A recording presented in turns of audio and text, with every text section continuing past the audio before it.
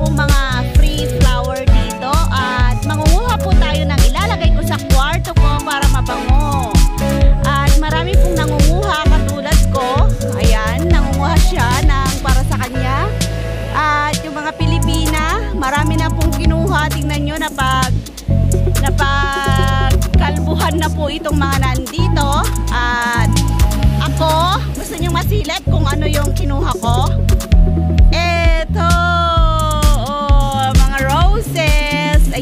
Ayan, nalagay ko po sa kwarto ko yan. Hindi pa siya masyadong namulaklak, so kinuha ko po siya. Ang kukulay po, oh, ang dami po nilang nilagay dito. Opening po kasi kanina. So, gabi na po ngayon. Ayan, dami-dami pong mga nilagay dito. At mga Pilipinang mahilig po sa bulaklak ay pinagkukuha na rin po nila yung mga flower na free dito sa daan. Hindi lang mga Pilipina ang nangunguha, pati na rin mga taga rito,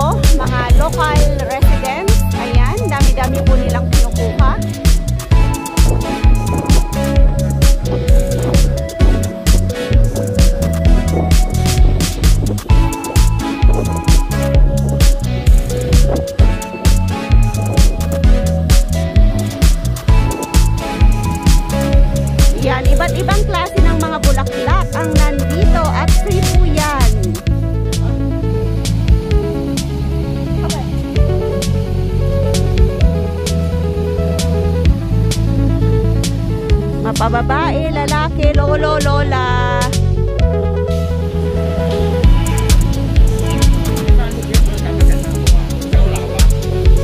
Ayan po, oh. Nanguha ko, nanguha po ako ng para sa akin.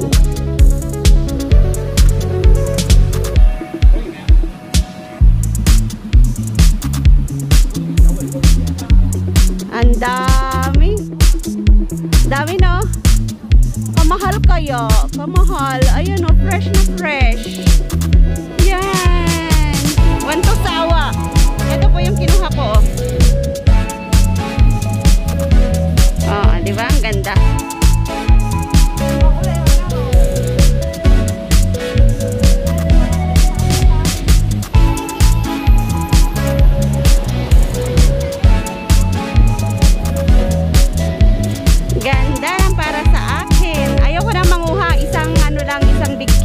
Jamaica.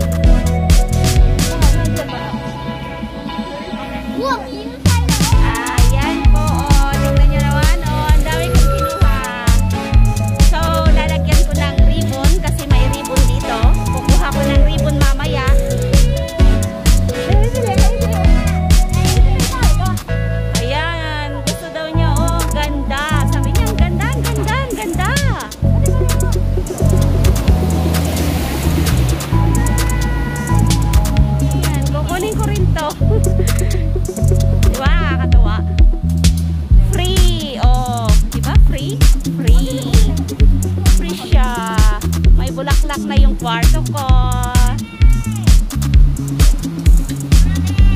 So, hanggang dito na lamang ang